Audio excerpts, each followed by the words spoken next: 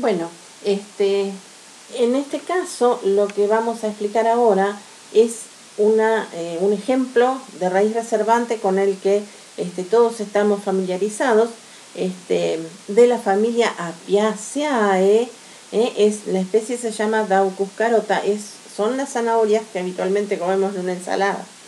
Este, les decía entonces que es un ejemplo de raíz reservante y acá se puede ver, a ver, no quisiera que... Ahí.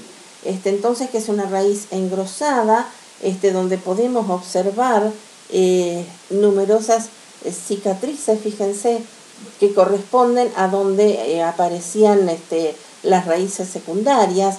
Nosotros las que conseguimos o las que tenemos habitualmente a disposición son las que ya están preparadas desde una verdulería, o sea que les, normalmente les falta este, la parte verde que suele estar acá arriba ¿eh? y por supuesto las raíces, es decir, como que las van limpiando y a nosotros en este caso no nos conviene. ¿eh? Entonces esta es una, una, típica raíz reservante de glúcidos, este, tiene un alto contenido de carotenos, este, que son, este, dan origen después a la vitamina A, o sea que este, su consumo es beneficioso para, este, en muchas maneras para el organismo. Entonces acá lo que, lo que observamos es el cuerpo de la raíz, las cicatrices, como decíamos, donde estaban las raíces este, secundarias, eh, esta sombra, zona que se llama hombro, cuello, y acá eh, se supone que va a salir, la, se supone, sale, acá, acá, está, acá lo han quitado, la parte aérea.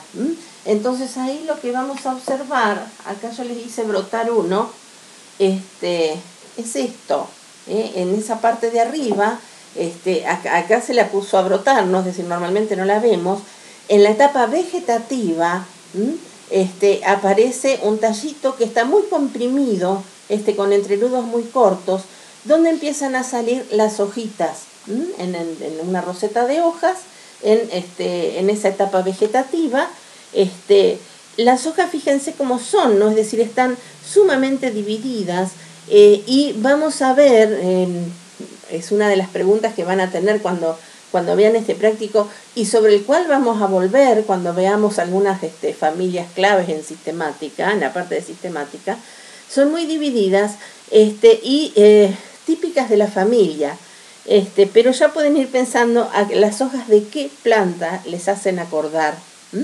Entonces, muy, muy divididas, muy lobuladas. Este, eh, como les decía, en esa etapa vegetativa el tallito está comprimido a, ras del, piso, del suelo, que sería el suelo.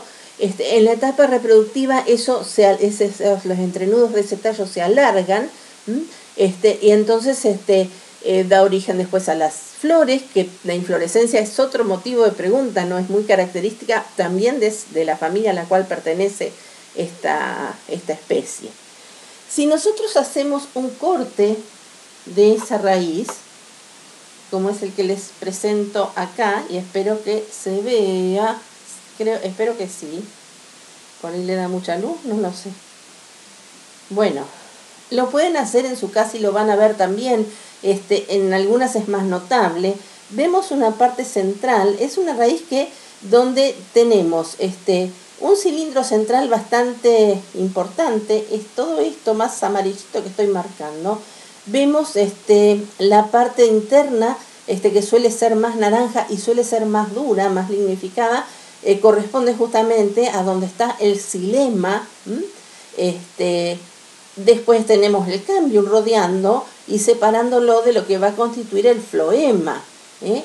Tanto ese xilema y sobre todo el floema este, tienen células este, incluidas junto con, con, los, este, con el tejido de conducción este, células parenquimáticas que reservan glúcidos ¿eh? y también son ricas en caroteno.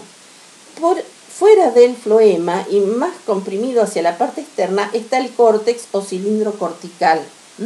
Y ustedes ahí también van a ir pensando qué es lo que está separando ¿eh? el cilindro cortical. Fíjense, de este lado se ve por ahí un poco mejor. Este es el cilindro cortical, lo demás es el cilindro central. Bueno, ¿qué había separando el cilindro cortical del cilindro central.